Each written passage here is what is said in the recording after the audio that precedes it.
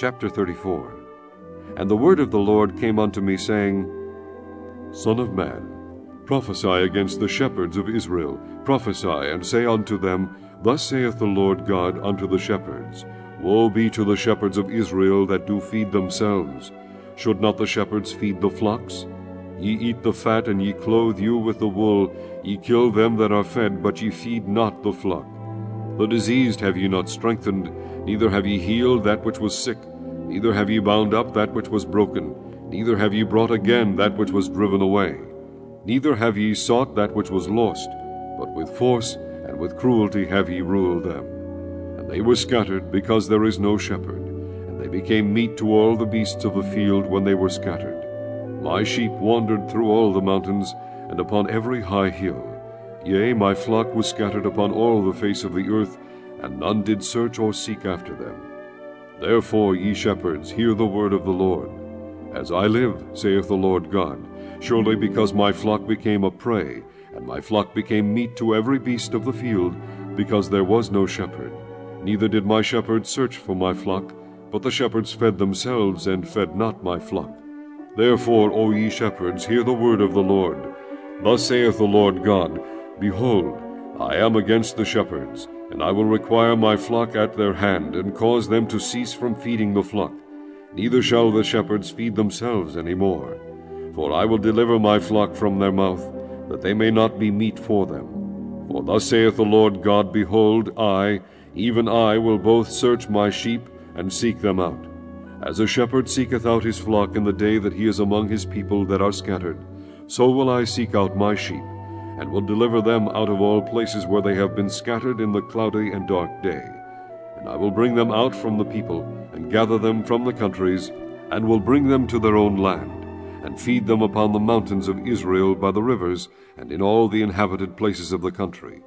I will feed them in a good pasture, and upon the high mountains of Israel shall their fold be.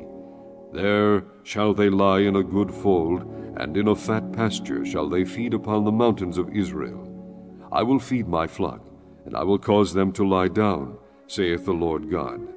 I will seek that which was lost, and bring again that which was driven away, and will bind up that which was broken, and will strengthen that which was sick.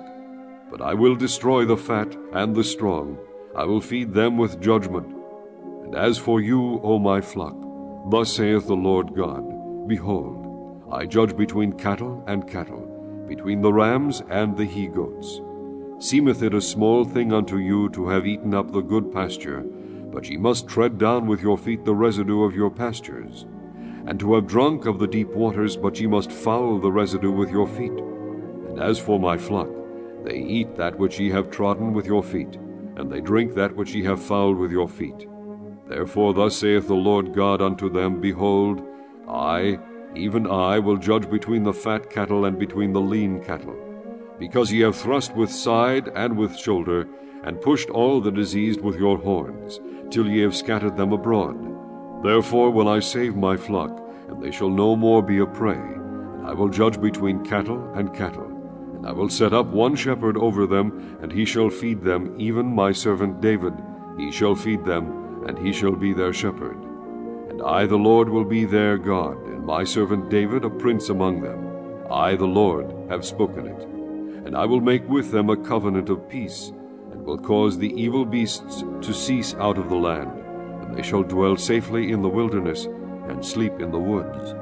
And I will make them and the places round about my hill a blessing, and I will cause the shower to come down in his season. There shall be showers of blessing, and the tree of the field shall yield her fruit, and the earth shall yield her increase. And they shall be safe in their land, and shall know that I am the Lord, when I have broken the bands of their yoke, and delivered them out of the hand of those that served themselves of them.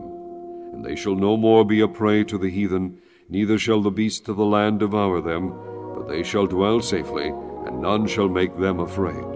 And I will raise up for them a plant of renown, and they shall be no more consumed with hunger in the land, neither bear the shame of the heathen any more. Thus shall they know that I, the Lord their God, am with them, and that they, even the house of Israel, are my people, saith the Lord God. And ye, my flock, the flock of my pasture, are men, and I am your God, saith the Lord God.